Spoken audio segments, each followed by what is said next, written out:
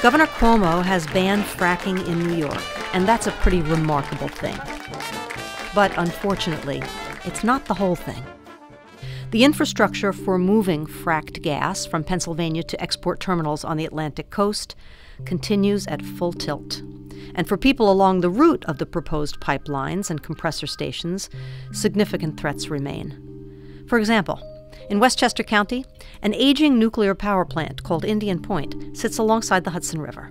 Two seismic fault lines lie close by, and 40 years' worth of highly radioactive spent fuel rods are stored on site.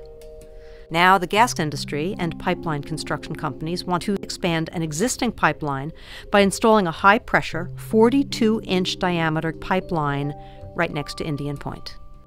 Think about that for a minute. A giant gas pipeline next to an aging nuclear power plant that sits near two seismic fault lines. Sometimes common sense eludes even the most dedicated public officials and government agencies who oversee these activities.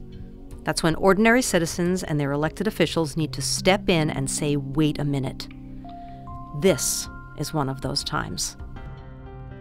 If you think gas pipelines don't belong next to nuclear power plants, or in our backyards, near our schoolyards, or in other places where we live and play, if you think building out a multi billion dollar infrastructure to export fossil fuels around the world isn't the best way to address our global energy issues, and if you think that the health of people living in communities near pipelines and compressor stations is just as important as the health of people living near fracking operations, help us push the pause button.